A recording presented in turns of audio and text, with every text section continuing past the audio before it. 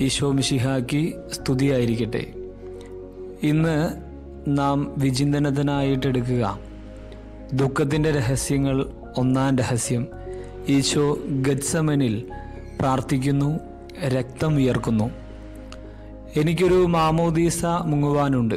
അത് മുങ്ങുവോളം ഞാൻ അസ്വസ്ഥനാണ് എന്ന് തന്റെ പീഡാസഹനത്തെപ്പറ്റി പ്രവചിച്ച ഈശോ ഇപ്പോഴിതാ ഗത്സമൻ തോട്ടത്തിൽ വേദനകളുടെ ആഴക്കടലിൽ മുങ്ങി താടുന്നു ആദം മുതൽ അവസാനത്തെ മനുഷ്യന്റേതു വരെയുള്ള എല്ലാവരുടെയും സകല പാപങ്ങളും അവയ്ക്കുള്ള ശിക്ഷയും കണ്ട് ഈശോ ഞെട്ടുന്നു.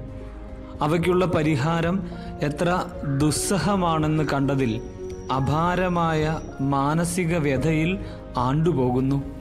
മരണകരമായ വേദനയിൽ രക്തം വിയർക്കുന്നു. പിതാവേ അങ്ങേക്ക് ഇഷ്ടമെങ്കിൽ ഈ പാനപാത്രം എന്നിൽ നിന്ന് മാറ്റിത്തരണമേ എന്ന് അവിടുന്ന് പ്രാർത്ഥിക്കുന്നു. യേശു ഇങ്ങനെ പറഞ്ഞത് അവിടുന്ന് ബലഹീനനായതുകൊണ്ടല്ല. മറിച്ച് അവൻ നമ്മുടെ ബലഹീനതകൾ ഏറ്റെടുത്തു എന്ന ഏഷയായുടെ പ്രവചനം പൂർത്തിയാകാനായിരുന്നു.